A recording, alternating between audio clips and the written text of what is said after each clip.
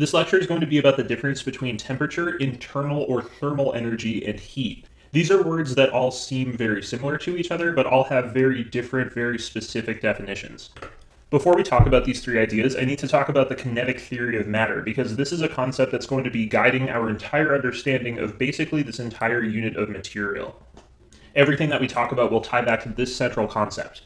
All matter is made up of a large number of tiny particles, and the microscopic or small behavior of the particles determines the macroscopic or large behavior of the material.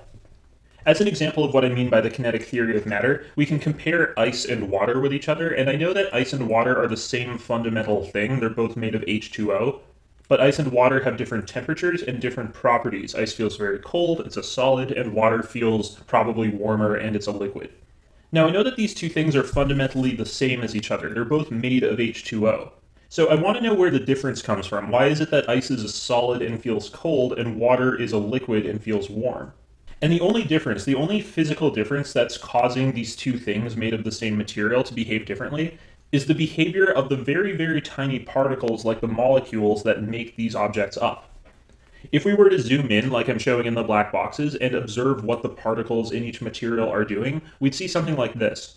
In the ice, the particles that make it up are all kind of stuck together and shaking, but just a tiny little bit. They have just a little bit of motion as they move back and forth around each other. The overall structure doesn't really change its shape.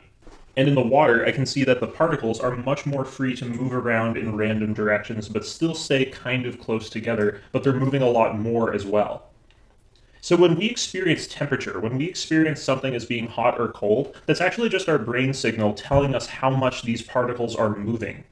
And when we experience something as being a solid or a liquid, all that really is is how much the particles are able to hold each other together. If they're able to hold each other together very strongly, you can see they behave as a solid, and if they can't really hold each other together, they behave as something like a liquid. So this big idea is going to be guiding the entire unit.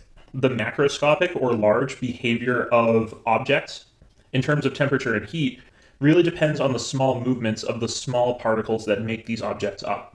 There are three words in the subject that appear to be very similar, but all have different meanings. Temperature, and then either internal energy or thermal energy, whatever you want to call it, and heat.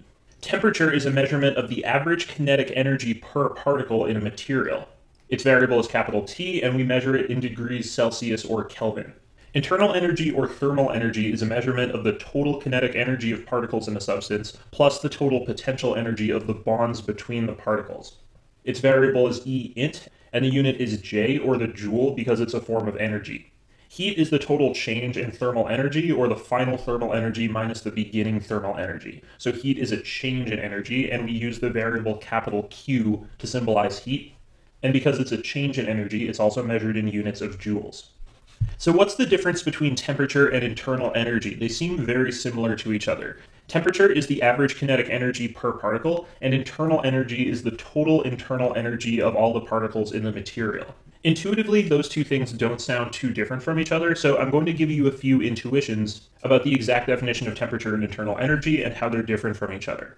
I'm going to imagine that we have two materials, one on the left and one on the right, and I can see the particles in the material and I can also see how much kinetic energy each particle contains. So I've written that in the center of each particle. The temperature is the average kinetic energy per particle, so to find that average for the material on the left, I can just add the total kinetic energy and divide it by the number of particles. So I can see that this material has an average kinetic energy of 3 joules per particle. On average, of the two particles, each one has an average of 3 joules.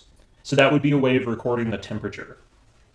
The internal energy is the total energy that exists in the material. So the total energy here would just be 6 joules. So that's a way of understanding the difference between temperature and internal energy. Temperature is an average energy per particle, and internal energy is just the total sum of the energy that you have in a material. If we look at the material on the right, and we find its average kinetic energy per particle, I find that that's actually also 3 joules per particle. So these two materials actually have the same temperature as each other because they have the same average kinetic energy as each other. But their internal energy is very different. I can see that the internal energy of the material on the right is much greater than the internal energy of the material on the left. So these two sets of particles have the same temperature, but different internal energy.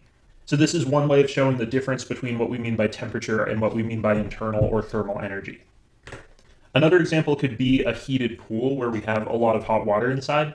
We take a bucket and take just a little bit of hot water out of the heated pool.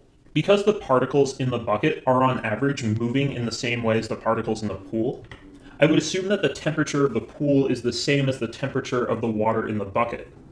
But because there are so many more particles in the pool than in the bucket, those particles must in total have more energy than what's contained in the bucket. There's more total thermal energy in the pool than there is in just the little bucket, and so we would say that the energy in the pool is greater than the energy in the bucket. So that's another way of understanding the difference between temperature and internal energy. This last note that I'm going to make is a little complicated. We're going to talk about it a lot more in future videos. Temperature is only affected by the kinetic energy in particles, but internal energy is a measurement of both the kinetic and potential energy of particles. Potential energy exists in the bonds between the particles holding them together. We'll focus on this more in the phase change and temperature versus heat graphs lectures later in this series. So just as an example, we can make a graph of the kinetic and potential energy of a material. It looks a little weird. It looks like this. I'll explain why that is in a future video. But if I begin to change the kinetic and potential energy, you'll notice that the temperature is only affected by the kinetic energy, and when I change the potential energy, that changes the bonds between the particles, but it doesn't change the temperature. So temperature is only a measurement of the kinetic energy in a material, whereas the internal energy is a measurement of the total amount of potential and kinetic energy together.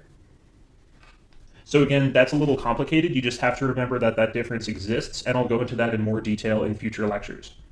There are three common units for temperature, and we only use two of them in science Fahrenheit, Celsius, and Kelvin, and we only use Celsius and Kelvin when we're working in science. These have just been adjusted to make more sense scientifically. The table on the left shows some important temperatures on each scale. You can see that we have the lowest possible temperature that can be reached on each scale, the temperature at which water freezes, and the temperature at which water boils. On the right, I have a table showing ways of converting from each unit of temperature to each other unit of temperature. Notice on the chart that a change in 1 degree Celsius is equal to a change of 1 degree Kelvin. When you go up 100 degrees Celsius on the left, you also go up 100 degrees Kelvin on the right. This will matter when we're doing math with temperature. A change in temperature in terms of Celsius is always equal to a change in temperature in terms of Kelvin. They're always the same number. The kinetic theory of matter says that what we experience as temperature is actually just the average kinetic energy of particles. This means that there's a lowest possible temperature an object can have, a point where all the particles inside it have no kinetic energy at all and are not moving.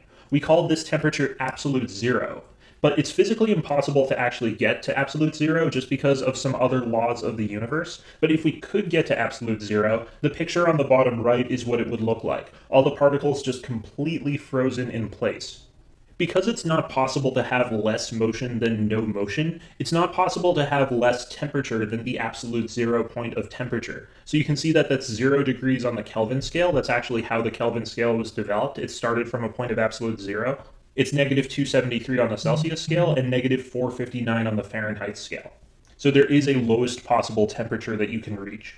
Absolute zero temperature does not occur anywhere on Earth or actually anywhere in the universe, and this means that even very cold material still has some internal energy. This can be a little confusing for students because they don't normally think of cold things like snow as having thermal energy. They usually only think of hotter things like burning wood or lava or something like that as having thermal energy. But actually, as long as a material is not at absolute zero, that means that its particles are moving a little bit, which means that there's still some internal thermal energy. So even very cold material like snow has that internal energy. And it's actually possible for a lot of cold material to have more total internal energy than a little hot material. If we were to compare the total internal energy in all the snow on Mount Everest, as an example, and compared that to the internal energy of wood in a fire, we would actually find that the snow had more internal energy in total, because if we were to add up all the small amounts of kinetic energy in all the little bits of snow in the mountain, that very large amount of very small quantities would actually add together to be more than the small amount of large quantities of kinetic energy in the wood. So even though the particles in the wood are moving much faster than in the snow, there are so many more particles of snow that the total internal energy is greater in the snow than in the fire. Now that we've addressed temperature and internal energy, the last subject to talk about is heat. Heat is the change in thermal energy, and because work is another name for the change in energy, heat can also be described as the thermal work done by or on a system. This has its own name and symbol because thermal energy often changes and moves from one object to another, so we need a specific mathematical symbol for that because that's going to come up a lot in very specific equations. As an example, if the blue object had 100 joules of internal energy and the green object had 40 joules of internal energy, and we imagine that we transferred 20 joules of energy from the blue object to the green object, the heat emitted by the blue object and gained by the green object would be 20 joules. And so the blue object would be reduced by 20 and the green would be increased by 20. Because energy is conserved, which means it cannot be created or destroyed, the heat emitted by one object must be the same as the heat gained by the object receiving it. So if we imagine that we're giving heat from object 1 to object 2, I know that the heat lost from object 1 will be equal to the heat gained by object 2. Just going back to our other example, in this example, 20 joules were lost from the blue object and gained by the green object, and I can see that that makes the equation on the bottom work. So that's everything that you need to know about the difference between temperature, internal energy, and heat. These are the definitions, variables, and units again. And just remember that all our understanding of this material comes from the central idea of the kinetic theory of matter, which says that, again, matter is made up of a large number of tiny particles, and the microscopic behavior of the particles determines the macroscopic behavior of the material. This will come up a lot as we begin to explore this topic more in the next few videos.